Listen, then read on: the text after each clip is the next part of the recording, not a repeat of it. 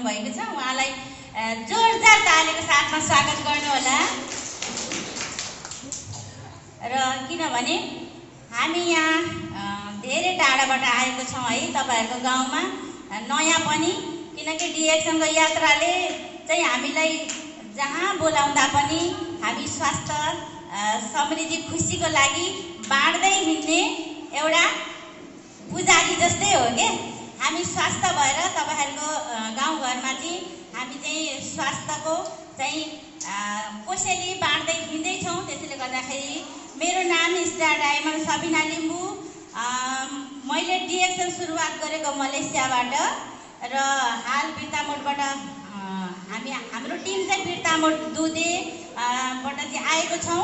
र फेरि पनि तपाईँहरूको गाउँमा आएर फेरि पनि बताउँछौँ धेरै खुसी लाग्यो। गाउँ राम्रो छ ठाउँ राम्रो छ घरहरू पनि नजिक नजिक छ र सिक्न चाहने स्वास्थ्य हुन चाहने व्यक्ति रहनु भएको छ र स्वास्थ्य नहुने चाहने व्यक्ति सुन्न नचाहने व्यक्ति वास्तै नगर्ने व्यक्ति आफ्नो शरीरलाई माया नगर्ने व्यक्ति गइसक्नुभयो। त्यसको लागि जोरदार तालले स्वागत गर्नुहोला। किनभने म पनि अघि हाम्रो एसएसडी सन्तकेतम सरले भनेर गइसक्नुभयो सुगरको को को हुनुहुन्छ भन्दा मैले हात उठाएँ तपाईँहरूलाई छक्क लाग्यो होला। म सुगरको रोगी जस्तै देख्छु। देख्दिनँ। हिजो अस्ति म मलेसियामा तपाईँहरूको मैले कसैको कुरा सुन्न पनि शक्ति थिएन बोल्ने शक्ति थिएन हिँड्ने शक्ति थिएन उठेर बस्ने शक्ति थिएन काम गर्ने शक्ति थिएन भात खाने शक्ति थिएन टोइलेट पनि जान सक्दिनँ थिएँ। आज तपाईँहरूकै सामुमा ब्युटिफुल भएर आएर अगाडि उभिएको छु। किनकि म स्वास्थ्य छु। म सुगरको रोगी भनेर हात उठाएँ तर म जहिले हात उठाउँछु किनकि म स्वास्थ्य। हाम्रो आज म एसटीको पर्ची यहाँ अघि चाहिँ कफी राखेको छु। मैले एसडी सबिना लिम्बू भनेको कारण चाहिँ यो कफीले मेरो लाइफ बदलेको छ। नयाँ जीवनदान भएको छु किनकि मलेसियामा बाक्सामा प्याक हुन आँटेको व्यक्ति आज म तपाईँहरूको सामुमा नेपालमा आएर यसरी बोल्छु भन्ने मैले सपना पनि सोचेको थिइनँ होइन? आज यसले मेरो लाइफ बनाएको छ र तपाईँहरू पनि कोही रोगी हुनुहुन्छ भने तपाईँहरू पनि यो कफी खाएर लाइफ बनाउनुहोस् क्या।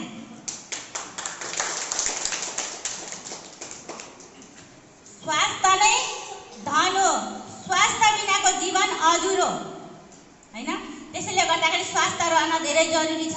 हाम्रो महिला पुरुष अ, के अरे हाम्रो दाजुभाइ हाम्रो सरहरूलाई भन्दा पनि हामी महिला जहिले पछि पर्छौँ।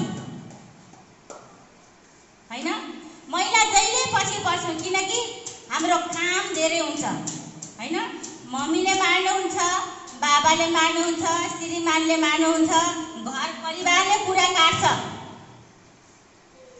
जिन्दगी त्यत्तिकै जान्छ र आज हामी विदेश गएर पैसा कमाउन पनि जान पाएको छौँ। त्यसैले गर्दाखेरि हामी महिला पनि शक्तिशाली बनेर निक्लौँ कि ताकि हाम्रो खातामा चालिस पचास हजार महिना आयो भने त्यही श्रीमानले जाओ बाहिर भनेर आशीर्वाद दिनुहुन्छ।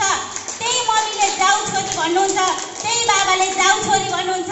किनकि जन्मैदेखि दाँत त हाम्रो अघि बी परिवार सरले गानुजी टुथपेस्टको बारेमा भन्नुभयो हल्का। मैले पनि त्यसकै बारेमा भन्छु। किनकि दाँत त जन्मैदेखि मलेको हो नि होइन र? तर दाँत मात्रै सफा गर्नुभयो। रोग चाहिँ फाल्ने काम गरेको थिएन। तर आज रोग हाम्रो गानुजी टुथपेस्टले रोग मात्रै नफालेर हाम्रो त्यो टुथपेस्ट एउटा टुथपेस्टले लाइफ बनाएको छ। त्यो एउटा टुथपेस्ट युज गर्नुभयो भने तपाईँ देश विदेश घुम्ने सिस्टम बनाएको छ। के तपाईँहरू बे गरेको नगरेकोले पनि डिएक्सन गर्न मिल्छ। त्यो साबुनले नुहाउन मिल्छ। त्यही टुथपेस्टले दाँत मल्न मिल्छ। तर सिस्टम त्यसको सिस्टम छ। सिस्टम बुझ्नुहोस्। तपाईँहरू फ्री दाँत मल्नुहोस् क्या।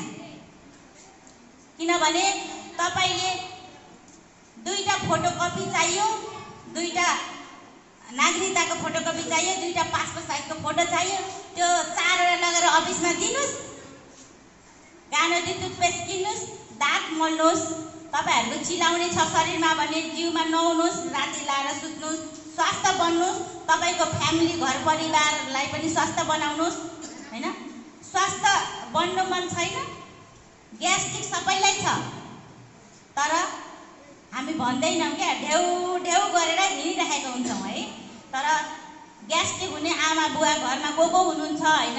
एकजना घरको म चाहिँ के भन्छु भने एकजना फ्यामिलीमा एकजना जोइनिङ हुनुहोस् डिएक्सनको फोटोहरू खुवाउनुहोस् र बोल्न तपाईँले पाएको बेनिफिट बोल्न चाहिँ नछोड्नुहोस् क्या? हिजो अस्ति म मेम्बर थिएँ। मेरो कुरा मेरो पछाडि कुरा काट्ने व्यक्ति धेरै थियो। हाम्रो नेपालीको बानी कुरा काट्ने हुन्छ। अब यसले निको मात्रै भएर देखोस् न यो त मर्ने भयो। यसको छेउमा जानु हुँदैन। यो बस्ने कुर्सीमा बस्नु पनि हुँदैन। तर त्यही म मेरो कुर्सीमा नबस्ने व्यक्ति मेरो छेउमा नबस्ने नहिँड्ने व्यक्ति आज मेरो मेम्बर भएर हिँडिराख्नु भएको छ। किन? म स्टार डायमन्डको पद हासिल गरेँ ऊ मेरो मेम्बर भयो। तपाईँहरूले बुझ्नुभयो मैले के भन्नु खोजेको? उहाँहरूले कुरा काटे काटेर पछाडि पर्नुभयो। मैले कसैको कुरा नसुनिकन एक धुनले पढ खाइरहेको थिएँ। र म स्वास्थ्य बने र मेरो कुर्सीमा मात्रै होइन सायद उहाँले चाह्यो भने मेरो कुर्सीमा बस्न धेरै उसलाई बिस वर्ष लाग्छ। म बसेको कुर्सीमा बस्नको लागि म बसेको ठाउँमा आउनको लागि मैले गरेको सङ्घर्ष गर्नको लागि उहाँलाई बिस वर्ष लाग्न सक्छ। त्यसैले हामी नेपालीमा जति जे छ तपाईँ तपाईँको पछाडि को छ तपाईँलाई कसले के भन्छ तपाईँको कुरा कसले काट्छ भन्ने कुरा तपाईँले यो कानबाट सुन्नुहोस् यो कानबाट उडाउनुहोस्। तपाईँको म एउटा नयाँ अहिले चाहिँ म तत्कालीन नयाँ न्युज तपाईँहरूलाई सुनाउन गइरहेको सुन्न तयार हुनुहुन्छ।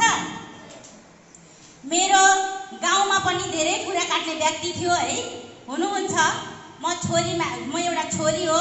मेरो दाजुभाइ छैन हामी दुई बहिनी मात्रै हो। मेरो अङ्कल प्यारालाइसिस।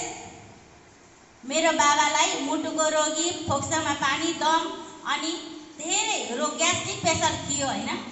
म आएको चार महिना पुगेर पाँच लाग्यो। पाँच महिनाको परिवर्तन के भयो भने आज मेरो तेह्र लाख रुपियाँ सक्दा पनि डक्टरकोमा कुदाउँदा कुदाउँदै मेरो बाबालाई निको न गर्नु सकेको र आज यो डिएक्सनको आरजी जेल खाएर मेरो बाबा तिन चार दिन भयो बजार जानु हुँदैछ क्या।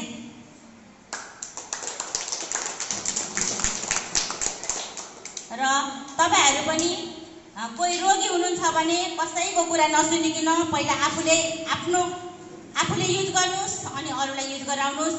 म को हुँ भनेर आफूले पहिला चिन्नुपर्छ। मलाई के भएको छ? र पछाडि अर्काको पछाडि नदौडी नदौडिनुहोस्। मैले खाएको प्रोडक्टले काम गर्छ गर्दैन भनेर पहिला आफूबाटै सुरुवात गर्नुपर्छ क्या डिएक्सनको सिस्टम होइन?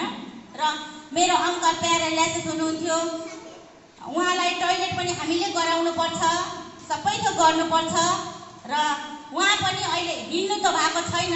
डिएक्सनको प्रडक्ट चाहिँ मैले आरजी तेल स्प्रिना मरङ्गी जुस। अनि न्युब्ला कफी युज गराएर उहाँलाई बस्ने बनाएको छु। खाना खाने बनाएको छु। त्यसैले छोराले मात्रै हेर्छ अरे आमा बाउलाई। छोरीले हेर् हेर्दैन अरे भनेर कहिले पनि सोच कहिले दिमागमा नलिनुहोस्। म छोरी हुँ छोरी मान्छे भएर पनि आमा बाउको सेवा गर्छु भनेर धारणा लिनुहोस्।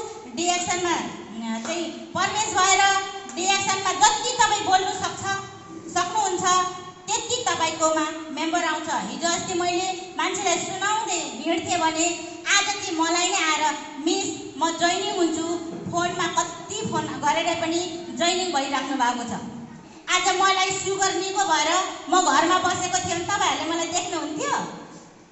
देख्नुहुन्न थियो त्यसैले गर्दाखेरि आफूलाई निको भएको रोग अरूलाई बताउनुहोस्। अरूले अरूलाई निको भएपछि फेरि उहाँले अर्कोलाई बताउनुहुन्छ। अर्कोलाई निको भएपछि फेरि अर्कोलाई। अनि तपाईँको टिम कत्रो बन्छ भन्ने कुरा तपाईँ आफै चिन्नुहुन्न कि? अहिले मेरो टिम सबै देशमा छ। मलाई थाहा छैन। तर मलाई उहाँहरूले भिडियो कलमा अनि जुम मिटिङमा मात्रै देख्नुहुन्छ। त्यसैले गर्दाखेरि तपाईँहरूको गाउँमा हामीले यस्तो चाहिँ सन्देश लिएर आएको छौँ। तपाईँहरूले सायद रिएक्सन रिएक्सन सुन्नु मात्रै भएको थियो। तपाईँहरूले युज गर्नुहोस्। तपाईँहरू आफै आफैबाट रिएक्सन सुरुवात गर्नुहोस्। आफैबाट हरेक कुरा सुरु गर्नुहोस्। र अर्काको कुरा नसुन्नुहोस्। र अर्काको कुरा सुन्नुभयो भने जहिले पछि बलिन्छ। र म के भन्न चाहन्छु भने हरेक कुरामा ध्यान दिनुपर्छ। स्वास्थ्य बिनाको जीवन अधुरै रहन्छ। मान्छेको कुरा सुनेपछि पछाडि परिन्छ। अगाडि बढ्ने को- कोसिस गर्नुहोस्। हाम्रो पुरुषहरू मात्रै अगाडि बढिराख्नुपर्छ हामी महिला दिदीहरू पनि अगाडि बढौँ न। विदेशको ठाउँमा पनि हामी गएर होइन त्यस्तो चौध घन्टा ड्युटी गरेर बाह्र चौध घन्टामा गाडी चढेर गएर मिटिङ गरेर पनि ड्युटी भ्याएर पनि आज एक रातले गर्दाखेरि यस्तो डिएक्सनको एसटीको पद हासिल गरेर आएको छु। यो ठुलो कुरा हो नि होइन त? न त सिस्टमले तपाईँलाई सर्टिफिकेट खोज्छ न त तपाईँलाई डिएक्सनको सिस्टमले पढे लेखेको तपाईँलाई नाम लेख्न आउँछ भनेर सोध्छ? सोध्दैन। म एउटा यस्तो व्यक्ति हो एकदम अनपढ मैले स्कुल देखेकै छैन स्कुल मैले पढेकै छैन तर तपाईँहरूको म्यासेज मैले इङ्ग्लिसबाट फर्काउँछ क्या। कसले गर्दा होइन तपाईँहरूलाई मलाई देख्दाखेरि तपाईँहरूले एकदम ट्यालेन्ट देख्नुहुन्छ होला। मेरो बोली मात्रै हो। म पढेको छैन। म जस्तै अनपढ कतिजना हुनुहुन्छ? स्कुलै नगएको स्कुलै नपढेको कतिजना हुनुहुन्छ? हुनुहुन्छ? हुनुहुन्न। हुनुहुन्छ भने पनि हुनुहुन्न भने पनि आफूले आफूलाई कहिले पनि कमजोरी म छैन पढेको म त गरिबको छोरी हो भनेर कहिले पनि नसोच्नुहोस् क्या। गरिबको छोरीको पनि एक दिन दिन आउँछ। बुझ्नुभयो नि? त्यसैले गर्दाखेरि अब योचोटि हामीले यो हलमा यतिजना मात्रै देख्यौँ भने अर्कोचोटि आउँदा यो हल भरिएर बाहिर पनि निक्लेर बसेको उभिएको देख्न पाऊँ क्या? अरू म के भन्न चाहन्छु भने जिउँदो भगवान् डक्टर लिमसिङज्यू उहाँले बनाएको प्रोडक्टले गर्दा आज हामीले तपाईँ हामीले नयाँ जीवन दान पाएको छौँ र उहाँलाई जोरदार तालीले स्वागत गर्नुहोला। भन्दै अझै सरहरू हुनुहुन्छ। म दुई शब्द यहीँ टुङ्ग्याउन चाहन्छु र यति भन्दै हाम्रो दाजुभाइलाई पनि अनि दिदीबहिनीलाई पनि मेरो त दाजुभाइ छैन तै पनि दीपावलीको धेरै धेरै शुभकामना साथै भाइ टिकाको पनि।